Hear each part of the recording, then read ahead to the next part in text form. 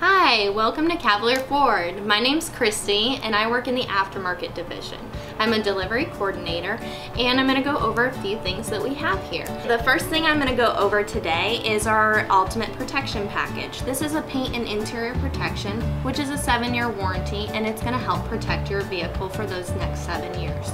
So I'm going to start going over a few things and I actually really want to show you a vehicle that we have in our showroom for you to look at.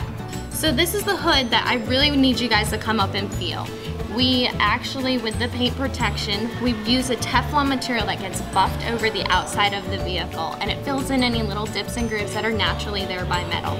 You'll be able to feel the smoothness on this side, which is our protected side, and on the other side it's going to be rougher and grittier, which is our unprotected side.